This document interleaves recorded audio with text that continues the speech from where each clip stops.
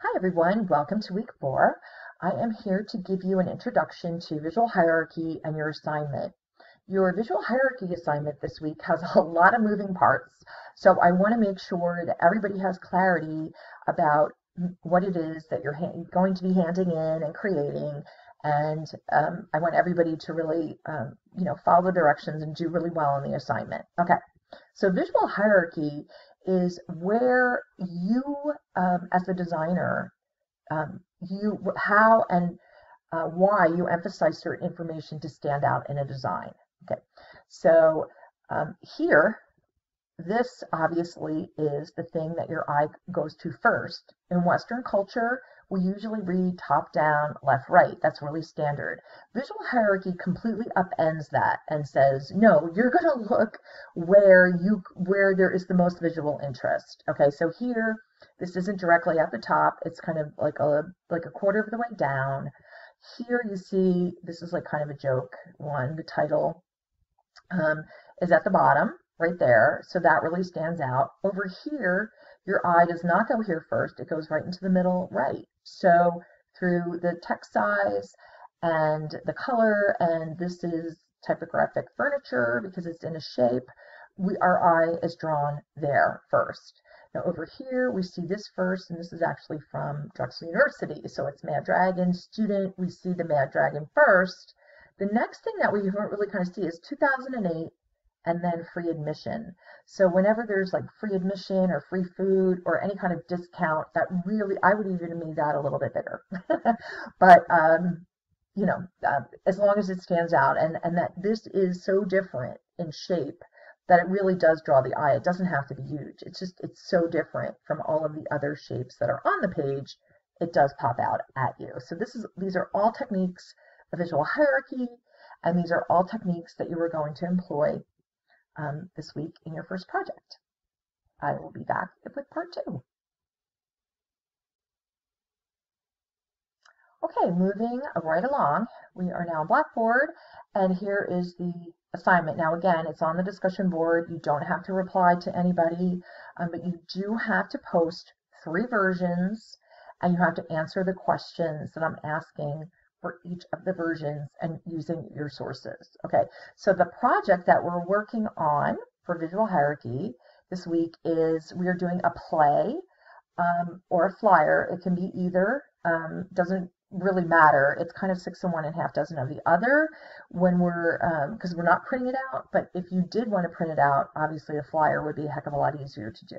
Anyway, so the um, the project is a, um, a Shakespeare play.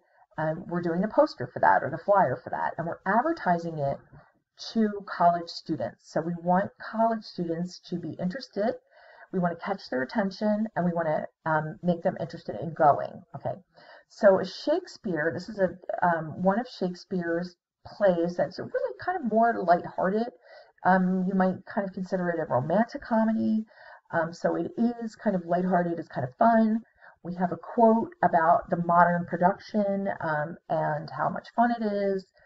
Uh, so we really want to emphasize that this is very modern. It's not going to be like some kind of, you know, um, old-fashioned red, big red velvet curtain Shakespeare production. So the way that you need to design this is very modern. So modern, the, um, the name of the play must stand out. That must be the most visually interesting item, ele I'm sorry, element on the whole um, layout. And then you also need by William Shakespeare, that can go underneath, that can be a lot smaller.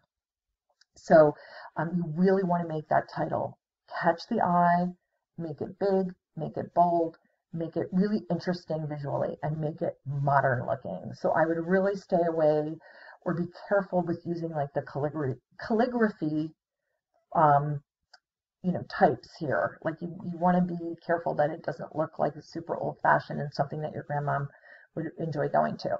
No offense, grandma. Um, so we are advertising this play to college students and they get a big discount. It's only $15 ticket for that would normally be 35. So it's a good price. So that is the second piece of information that you need to highlight. $15 student ticket with ID. Okay. Um, you can also break proximity You don't have to have the regular ticket price with the, the discount ticket price. You can. However, what is emphasized is the student price that is discounted. So it's $15.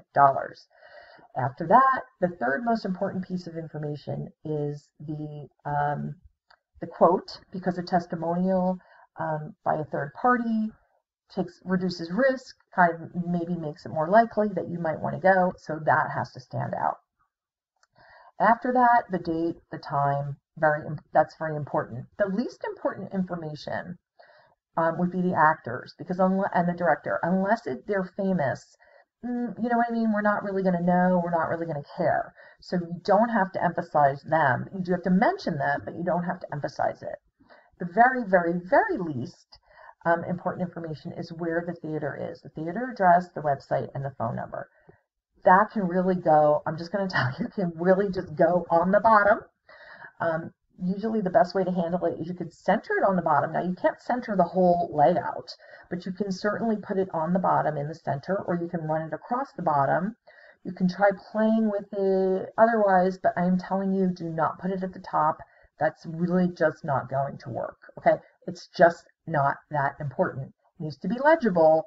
We need to be able to get the address. Um, you might want to highlight it's the Wilma Theater. I don't know how well known that is generally. I mean, it's a very well known theater in Philadelphia. Again, I don't really think it matters. I think it's fine to put that Wilma Theater and the address at the bottom. Okay, so do your best on that. And then here, let me come back and just show you. So in the first version, you are just working with just text, just type, no images. You cannot center a line.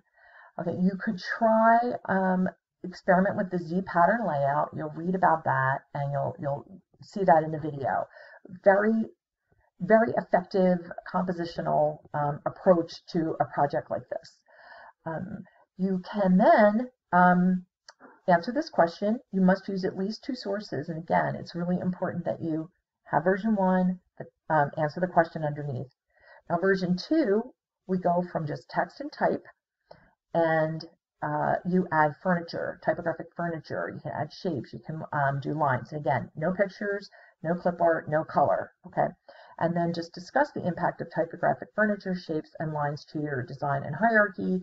And again, you should be mentioning at least a source when you are addressing that. And then third is you can um, use color. And you can do splash, you can do a lot of color, you can use more than one color, uh, whatever it is that you want to do, you can certainly do.